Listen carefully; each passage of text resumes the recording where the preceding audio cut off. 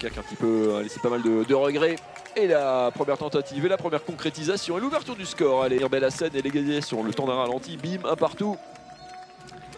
Pas de, pas de route d'observation, réussite euh, immédiate des artisans aussi du, renouveau. Et la deuxième euh, tentative longue distance, c'est toujours la réussite pour euh, Johan Gibelin. On va avoir ce, euh, coup de canon, copie conforme hein, du, précédent, qui laisse Samir Bellassène quasiment sans réaction. Et décidément, on allume, euh, on allume de loin dans ce début de match. La réponse euh, immédiate là aussi. Florian Billan face à Dylan Soyer. Avantage au Dunkerquois. qui- Et la solution à l'aile avec euh, Steve Marie-Joseph qui vient battre à nouveau Dylan Soyer. Ouais, défense de Dunkerque qui essaie de sortir un petit peu de Cherchio. Et toujours la réussite de Johan Gibelin qui fait Ouais, Sissoko qui trouve une superbe lucarne sur la droite de Samir Bellassène. Ça, Créteil à nouveau au complet. La solution à l'aile, elle est trouvée et bien trouvée. On va la revoir sur ce, euh, joli ralenti à nouveau. Puis on attaque des positions de tir notamment.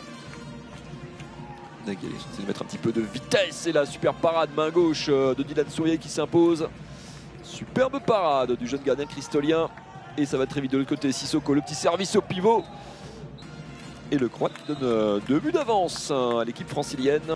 Et là, on va essayer d'aller retrouver des solutions à l'extérieur. Et ben voilà, Samuel Dean. pour- Alors, la solution au pivot Niambo en phase offensive. Florian Billan, il est à 2 sur 2 pour l'instant. Et il s'en faute qui continue. Après Havcourt, Oh là C'est une action de classe, ça, quand même. Elle tente à nouveau sa chance. Première feinte. Et le sans faute que Garin qui va concrétiser. Avec un petit peu de réussite avec le rebond et le pot. D'exigence d'investissement des coachs doit être à la hauteur. La tentative très longue distance de Robin Molinier qui trouve à nouveau Quentin Hulot. Très bonne première mi-temps dans les, dans les bois côté Créteil.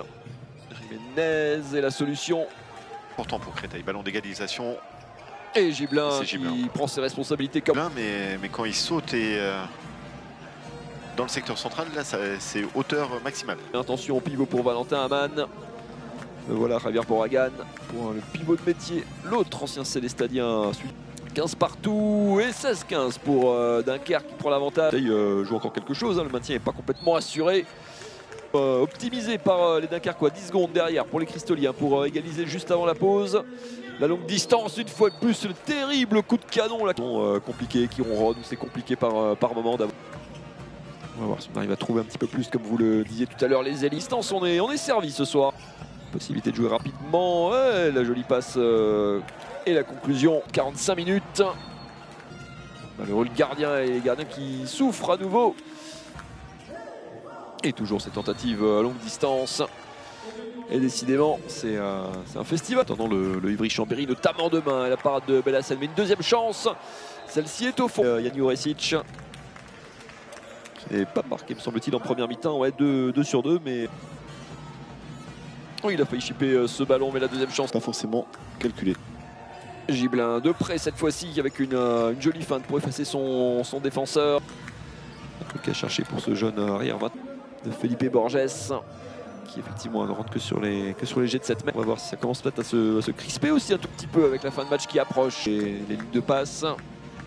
Carvadet qui accroche un petit peu la solution de l'aile. Il a fait une bonne partie de la première mi-temps aussi côté, euh, côté Dunkerque. Euh, Dunkerquoise, la solution peut-être à l'aile avec le bon mouvement de Isic euh, qui fait le tour. Et Mika Robin qui sort un bonne réponse son équipe, euh, mais la deuxième lame euh, qui est ressortie. Guidel Pintor toujours euh, haut qui va sortir. Et la solution à l'aile pour retrouver Juresic justement qui bat euh, Mika.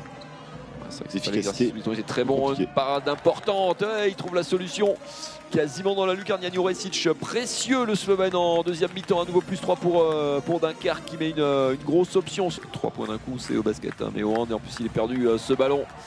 Et il va y avoir un duel euh, pour Kader Raim face à Mika Robin pour le score peut-être final de cette, de cette rencontre.